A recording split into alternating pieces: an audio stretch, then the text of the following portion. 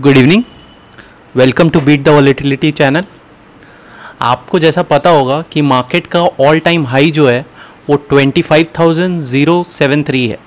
आज भी मार्केट उसको ट्राई किया टच करने का लेकिन एक रेजिस्टेंस फेस कर रहा है मार्केट अपर रेजिस्टेंस जो भी फेस कर रहा है मार्केट 25,080 के पास वो आपको विजिबल होगा। अगर आप कल के लिए ट्रेड करना चाहते हैं तो आपको ये चीज़ तो पता ही है कि मार्केट ने 20 और 50 मूविंग एवरेज को ब्रेक किया और नीचे 200 मूविंग एवरेज के पास सपोर्ट ले रहा है मार्केट।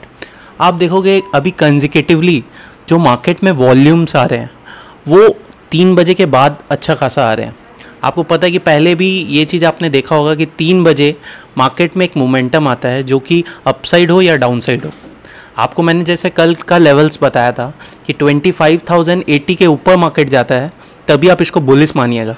तो आज आप देखोगे 25,080 के ऊपर गया ही नहीं है।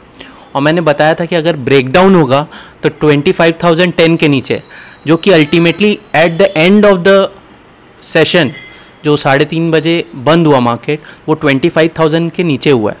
लेकिन आप कल का ये मार्केट आपको डिसाइड करेगा कि ये 25,000 के नीचे निकल जाएगा या ऊपर सस्टेन करता है। तो कल के लिए आप लेवल नोट डाउन कर सकते हैं। कल के लिए सिंपल लेवल्स है। 25,000 के अगर नीचे रहता है मार्केट तब आप बियरिश ट्रेड लोगे। मतलब आप पुट ले सकते हो फ्यूचर शॉर्ट कर सकते हो कॉल को सेल कर सकते हो या स्ट्रैटेजी बनाना चाहते हो तो 25,000 का स्ट्रैडल डिप्लॉय कर सकते हो एक्सपायरी के लिए। और अगर आप ऊपर का ट्रेड लेना चाहते हो तो सिंपल है। 25,040 के ऊपर अगर निकलता है तभी आप इसको बुलिश मानिएगा वरना मार्केट हो सकता है साइडवेज ही कल मूव करके बंद हो जाए। ठीक है, जब भी अपन मार्केट में एनालिसिस करते हैं तो आपको लेवल टू लेवल खेलना बहुत ज़रूरी है। अगर आप लेवल्स पे को रिस्पेक्ट नहीं करेंगे तो आपको लॉस ही होगा।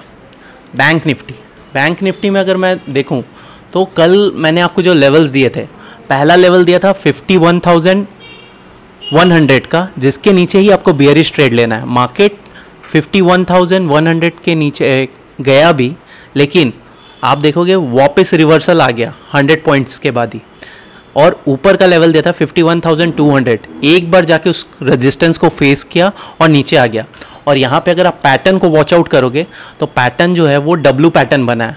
तो आपको पता है अगर आप डब्लू पैटर्न को प्ले आउट करना चाहते हो तो डब्लू पैटर्न का जो रेंज आता है वो अच्छा खासा रेंज आता है। तो आप देखोगे कि अभी मार्केट अगर बैंक निफ्टी ऊपर जाना चाहता है तो 51,431 तक जा सकता है। तो जब डब्लू पैटर्न को ब्रेक किया अगर उस समय आप ट्रेड कर रहे होते तो मार्केट उस समय भी आपको 200 पॉइंट्स अच्छा खासा दे दिया। ठीक है? तो कल के लिए अगर आप लेवल नोट डाउन करना चाहते हो तो मार्केट कल जब 51,400 को क्रॉस करता है तब आप बुलिश ट्रेड ले सकते हो। और बियरिश ट्रेड के लिए तो मार्केट ने आपको रिस्पेक्ट दिखाई दिया कि 200 के पास वो रिस्पेक्ट कर रहा है। तो 51,180 के नीचे अगर जाता है तब आप बियरिश ट्रेड लेना। जब भी अपन इंडेक्स में ट्रेड करना चाहते हैं तो हमको Reliance H D S C I C I C Axis और एस बी आई को देखना चाहिए। तो अगर हम लोग रिलायंस को जाके देखते हैं तो रिलायंस जो क्लोजिंग हुई है, वो थ्री थाउज़ेंड के पास हुई है। अब यहाँ पे बुल हो चाहे बियर हो, दोनों ट्रैप होंगे। सबका अपना अपना इमोशंस है। तो कल के लिए अगर हम रिलायंस को ट्रेड करना चाहते हैं तो रिलायंस सिंपल आपको जब तक थ्री थाउज़ेंड टेन के ऊपर ट्रेड करते हुए नहीं मिले तब तक आप इसमें बुलिश नहीं होंगे, ठीक है? और यहाँ पे H D F C H D F C आप देखोगे 1600 के पास से कितने बार ही मूव किया है? ऊपर, जो कि साइकोलॉजिकल लेवल है। जब भी साइकोलॉजिकल लेवल प्ले में आता है तो मार्केट उसको रिस्पेक्ट करता है। तो अगर अभी 1637 पे है तो कल के लिए अगर अपन को ट्रेड करना है HDFC को तो HDFC लास्ट में अच्छा खासा बियरिश बंद हुआ है, जो आपको ये बताने की कोशिश कर रहा है कि हो सकता है अगर कल डाउन ट्रेंड आए तो एच उसको लीड करेगा। तो कल के लिए नीचे का अगर सपोर्ट आप देखोगे तो 633 का है। और अगर अपसाइड में आपको ट्रेड लेना है तो 640 के ऊपर जब तक नहीं जाता, तब तक आप ट्रेड नहीं लेंगे। और जब एक बार ऊपर चल जाता है और आप उस पर ट्रेड लेते हो तो आप अपना रिस्क रिवॉर्ड फिक्स कर लेना। दो से चार रुपये का स्टॉप लॉस देके आप पाँच से आठ रुपये कमा सकते हो उसमें। बैंक में अगर आप ट्रेड करते हो तो आईसीआईसी बैंक और एक्सिस बैंक को भी आपको देखना होगा। आपको ये लास्ट में देख के लग रहा हो कि आईसीआईसी कंजिकेटिवली ट्वेंटी और फोर्टी मूविंग एवरेज को जब भी क्रॉस ओवर किया, उसके बाद चार दिन से अच्छा खासा मूव दे रहा है। तो आपको लेवल पता होना चाहिए कि I C I C fifty तक तो जाएगा, क्योंकि इसका ऑल टाइम हाई है, जो कि फिफ्टी टू वीक हाई बोलते हैं अपन। ठीक है तो कल के लिए अगर आई C I C twelve thirty के ऊपर निकलने लग जाए, तब आप इसमें बुलिश ट्रेड लीजिएगा। वरना ट्रेड ही बनेगा इसमें। क्योंकि अगर आप देखोगे ऊपर से ये एम पैटर्न बना के गिरा है। तो जब भी एम पैटर्न बनाता है कोई भी स्टॉक तो आपको पता है उसका लेवल्स अपन कैसे निकालते हैं। एम पैटर्न निकालने के बाद एक लेवल निकलता है जो कि आप यहाँ पे देखोगे, वो कंजिकेटिवली उसको भी रिस्पेक्ट किया है आई ने। तो एम पैटर्न डब्ल्यू पैटर्न का बहुत ही इंपॉर्टेंस है मार्केट में। एक्सिस बैंक अगर आप देखोगे तो एक्सिस बैंक एक गैप अभी भी फिल नहीं किया और सब स्टॉक्स में आप देख रहे होगे तो कहीं ना कहीं वो गैप फिल कर दिया है। लेकिन एक्सिस बैंक में एक अच्छा खासा गैप है। जिस दिन इस गैप पे इंटर करता है मार्केट, उसके बाद वो बहुत तेज़ी से ऊपर जाएगा और 30 पॉइंट्स आपको इजीली एक्सिस बैंक में मिल जाएगा।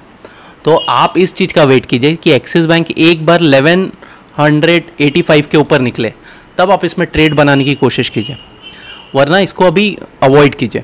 पाँच मिनट में अगर आप अपने एक्सिस बैंक को देखते हैं तो एक्सिस बैंक आपको यही दिखाएगा कि लास्ट में हर चीज़ बियरिश बंद हुई है और सब एक पैटर्न बना रहा है और 20 और 40 मूविंग एवरेज के नीचे निकला है।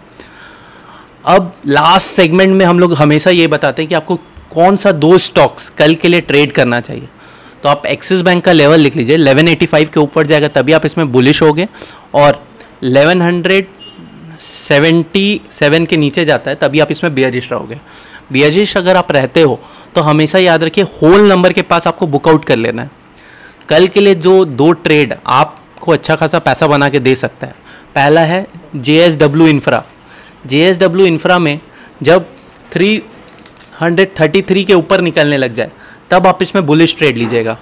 और एक टाटा टेक्नोलॉजी टाटा टेक्नोलॉजी में आप सिंपल है कि 1100 के ऊपर जैसे ही निकले अच्छा खासा ट्रेड आपका बन जाएगा टाटा टेक्नोलॉजी में, जो कि आपको हो सकता है तीन परसेंट से लेकर चार परसेंट मार्केट में आपको ईजिली कमा के दे। ठीक है? तो ये दो ट्रेड आप ले सकते हैं।